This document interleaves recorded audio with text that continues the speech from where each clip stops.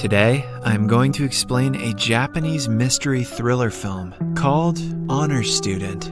Spoilers ahead, watch out, and take care. The story starts in Ichikawa High School in a small Japanese town. The senior students are in the classroom receiving their recent test results. One of the students is Miyamoto Asuka, a friendly but academically dumb student. Even though the test was the easiest one so far, she doesn't get any answers right and scores a zero. Her boyfriend, Yoshida, looks at the brighter side, stating that zero is Asuka's lucky number. They are scolded by the teacher, who knows if Asuka doesn't start studying, her future is bleak. Then, it is time for another history test that Asuka dreads. The first question asks her to name a monument that is famous for granting wishes when offered a coin. She doesn't know the answer, but instead of leaving the space blank, she writes the name of a random place called Gachimo. Just when she puts the name down on the paper, bright light can be seen outside the window. Somewhere in the city, a strange path of jungle forms on its own. The following day, she and Yoshida are on their way to school when they come across a path. They do not remember it being there prior to today, which makes them curious. Letting curiosity get the best of them, the couple decides to explore it. After a minute's walk, they find a shrine whose name they cannot pronounce. Asuka throws a coin and wishes to get a hundred on his next test. The two then return to school without thinking much of the exploration. They get the result of the previous test, and Asuka scores 5 out of a 100. She huffs at herself for believing in the shrine's power. That day, the class has yet another quiz about world politics. The first question asks them the name of the current Japanese prime minister. Asuka doesn't have a clue, but instead of leaving the paper blank, she writes Yoshida's name on it. She doesn't know the answers to any of the questions after that, so instead, she takes a nap. After school, Asuka and Yoshida go to her house to hang out. As soon as they walk in, they hear the noise of her parents arguing. Her father is a salesman who is about to be laid off, while her mother has an affair with a younger man. Asuka asks Yoshida to ignore them and brings him to her room. On the way, he notices empty plates and bowls outside a door. It turns out that Asuka has a twin brother named Keisuke. He used to be the best in his studies ever since elementary school. He never scored anything less than a full score on every test, but that is until one day when he failed the high school entrance exam. Since he was known as the best scorer, the failure was very hard on him. Ever since then, he has locked himself away in his room. He doesn't talk to anyone and is always on the computer playing games. Asuka sulks after talking about her brother. To make her feel better, Yoshida goes to the supermarket to get them something to eat. Somewhere else, their teacher is grading the test papers. Suddenly, the shrine starts glowing, and so do the teacher's glasses. A while later, Asuka calls Yoshida and asks him what is taking so long. Yoshida claims that he is terribly busy and won't be able to hang out today. Right after the call, she gets a text from her classmate saying that Yoshida is in huge trouble. It turns out that he has been selected as the Prime Minister of Japan. The interviews of him posing for the camera as the Prime Minister are going viral on social media. The next day, Asuka goes to school, still confused about how her boyfriend, who went to the grocery store, turned into the Prime Minister.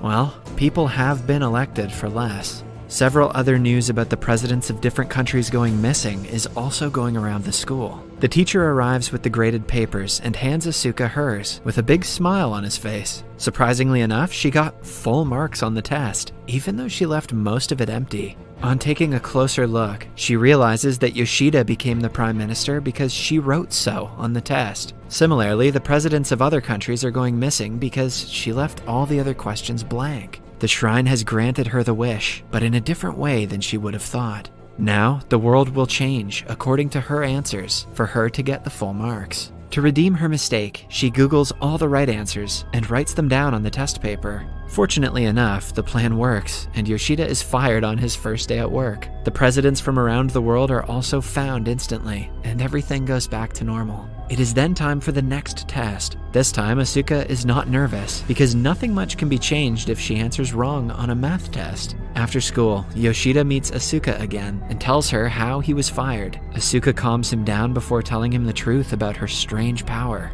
Yoshida doesn't believe her and asks her to write something to prove it. But before she can, a tower in the middle of the town starts wiggling. This is because of a mistake she made on the math test. The couple immediately runs to the teacher's room and corrects the mistake, finally bringing the tower to its original form. Even the experts on TV cannot explain what caused the building to wiggle. While returning home, Asuka and Yoshida go to the place where the shrine was earlier. But it has completely vanished by now. Since they do not remember the name, they have no way to look for it again. Now, the only way to save the world is for Asuka to study hard and get all the questions right.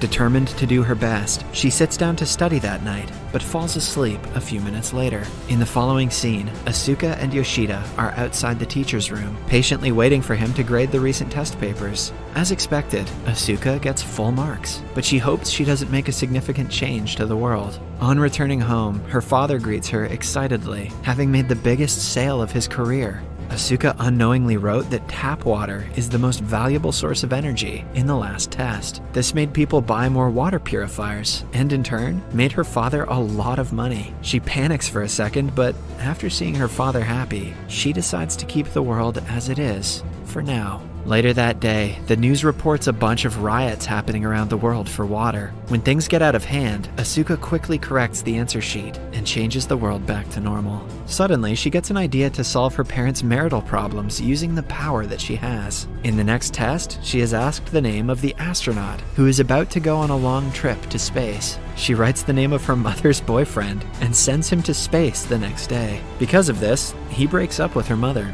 She starts focusing on her family and her husband after his departure.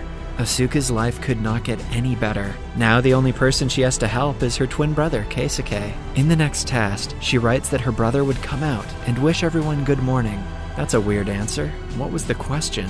The plan doesn't work as she had thought, though, because instead of Keisuke coming out, their father barges into his room and forces him to come outside. This causes a huge argument in the family. It is revealed that her father has again been threatened to be laid off, and her mother has started texting other men. Asuka finally registers that solving her problems with the power is only temporary. She starts making an actual effort to talk to her brother. Since he is still an academic genius, she sits outside his door and studies out loud every day. She makes several mistakes that bother Keisuke, but he doesn't correct her for a few days. Then, one day, she tries skipping a math problem because it is too difficult. Keisuke talks for the first time and teaches her how to solve it. Because of her brother's guidance, Asuka starts studying harder, even though he only talks to her through a closed door. Eventually, her father starts reading books for salesmen and puts extra effort into his work as well. Her mother also deletes all of her lover's numbers from her phone and focuses on her family. Why'd she do that? Who knows? A week later, Asuka scores the full marks on a test without anyone's help. She runs to Keisuke with the good news, but he refuses to open the door, even then. The following morning, Asuka and her parents are at a dining table enjoying a meal. To their surprise, Keisuke comes downstairs and greets them. He also apologizes to his father for giving up and promises to do better from now on. One day, on their way to school, Asuka and Yoshida find the first test paper inside Asuka's bag. She had torn it because she scored only 5 out of 100. She joins the pieces together, which suddenly forms the passageway to the shrine. Only then does she notice that she had written about a wish granting shrine named Gachimo as the very first answer the shrine must have manifested because of it. The couple quickly goes to the shrine and begs to reverse the wish and change the world back to normal. They wait for something to happen and are disappointed when nothing changes. In school, the teacher takes yet another test, this time about world geography and population. Suddenly, Asuka remembers that the shrine only granted her wish because she offered a coin. This means to reverse the wish, she will have to take the coin back. She quickly completes the test and rushes to retrieve it. However, the coin is inside a locked chest. She uses a stick to try to get it out and is almost successful. Somewhere else, Keisuke and his parents are chatting about his future. He is happy to have finally gotten over his hiatus and is excited for his life ahead. His mother is also sorry to have troubled her husband so much. The family finally solves their differences in one sitting. Simultaneously, we see Asuka's teacher grading the most recent test. He gets to Asuka's paper, and she scores 100, as usual. At the same time, she accidentally drops the coin back into the chest. Suddenly, the coin shines a bright light on her. Seconds later, no one is in front of the shrine. In fact, the entire city, country, and the world is empty, as if every human being vanished out of the blue. In the last scene, we see that Asuka missed the final question in the recent test. The question asks what the current world population is. Since Asuka left it blank, humans stop existing. Subscribe for more videos like this, turn on notifications, and leave a like to help the channel out. Thank you.